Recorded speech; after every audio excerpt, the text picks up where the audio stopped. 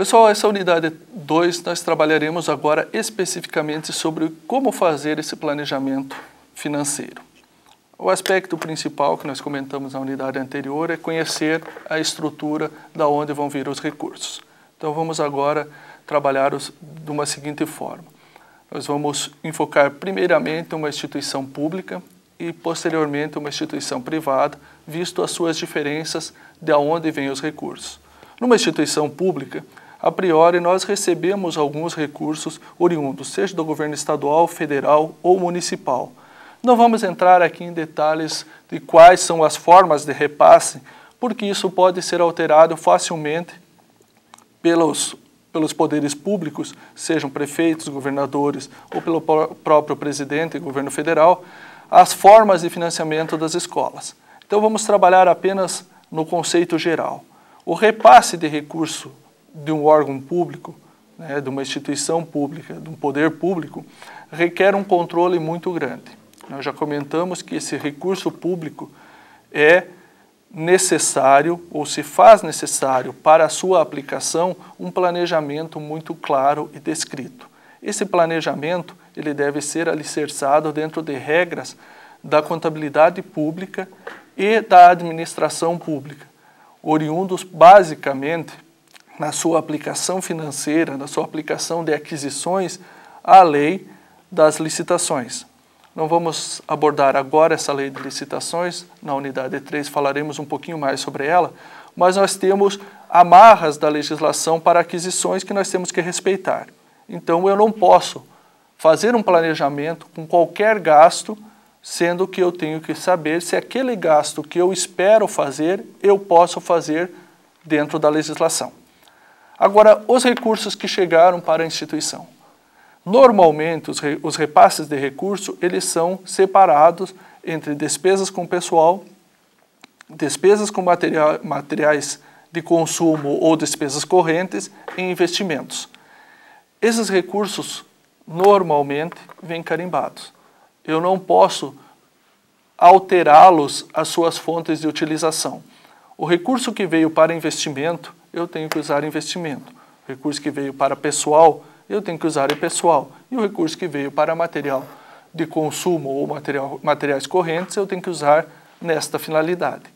Desta forma, quando eu vou elaborar o planejamento, eu tenho que separar essas fontes de recurso por esses subelementos e, posteriormente, trabalhar com as despesas nos limites orçamentários, nos limites dos recursos que eu possuo para cada um daqueles elementos.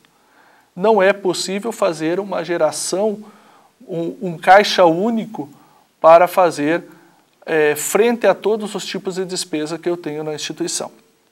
O paralelo que eu ia fazer aqui com relação a uma instituição privada é que esta amarra de fonte de recurso com elemento de despesa específico inexiste numa iniciativa privada, aonde os recursos que normalmente são provenientes numa entidade com fins lucrativos das mensalidades dos alunos, ele pode utilizar da melhor forma com que ele acha. Então, ele não precisa separar parte para investimento, parte para pessoal e parte para material de consumo de forma rígida, e sim de forma planejada e mesmo assim, havendo alguma uh, algum item que precise de alteração, ele pode realizá-lo sem problema nenhum. Não há esta amarra que existe nas instituições públicas.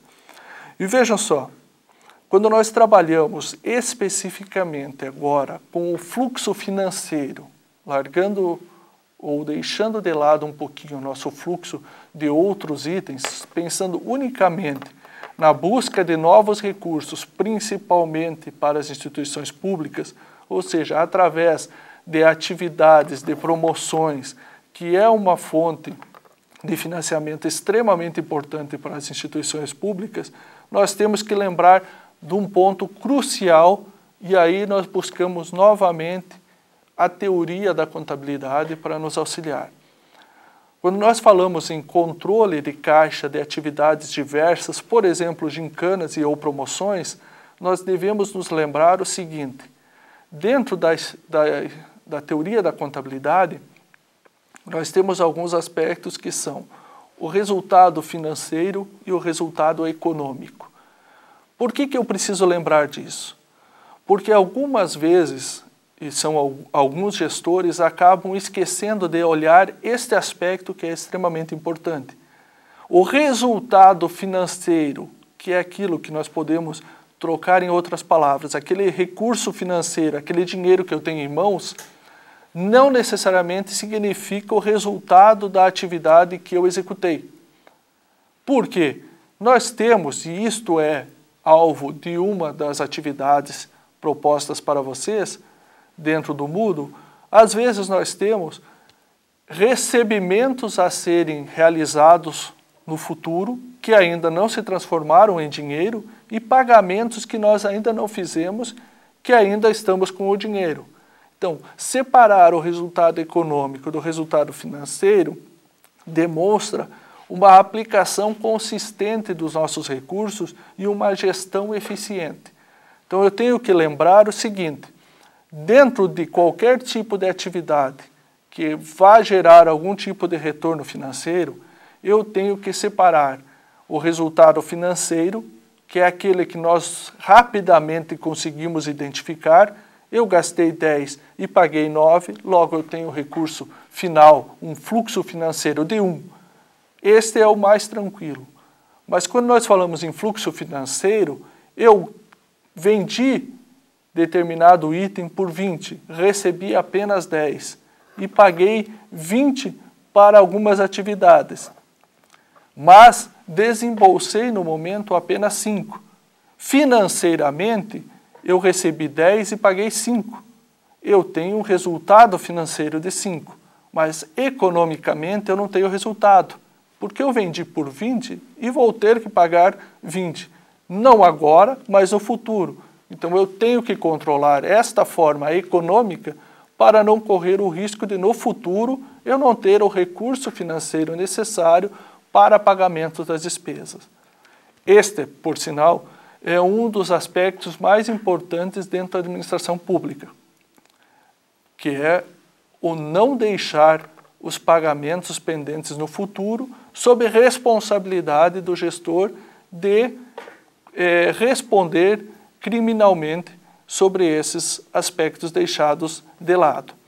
Na unidade 3, nós vamos falar justamente sobre a prestação de contas de forma mais rápida e principalmente na unidade 3, para a prestação de contas das instituições públicas.